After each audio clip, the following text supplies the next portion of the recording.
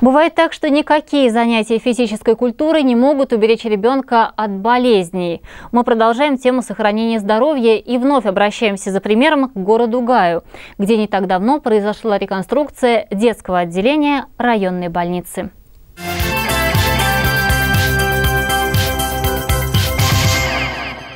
Педиатрическое отделение построено почти 20 лет назад, и за все это время капитального ремонта здесь ни разу не было. И вот 2011 год. Гайский горно-обогатительный комбинат выделяет 40 миллионов рублей на реконструкцию. Пять месяцев работы, и больница готова принять маленьких пациентов.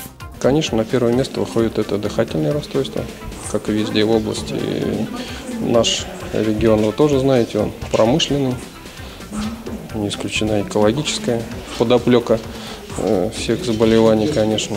Прежде всего дыхательная и желудочно-кишечная. 3 миллиона рублей потрачены на медицинскую технику и оборудование. Среди прочего, теперь здесь есть и современные кювезы для выхаживания малышей, и лампы для лечения их от желтухи.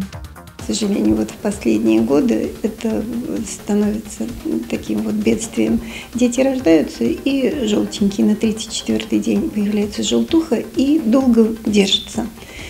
И если билирубин высокий, то детей помещают сюда. Находится ребенок под этой лампой весь день, перерыв делается только на 20 минут на кормление. Мама его забирает, но здесь еще кроватка с подогревом, но он лежит совершенно раздетый, голенький в очках. Палаты в педиатрическом отделении оформлены так, чтобы и матери, и ребенку было здесь максимально комфортно. Ведь в деле выздоровления психологическая составляющая стоит не на последнем месте.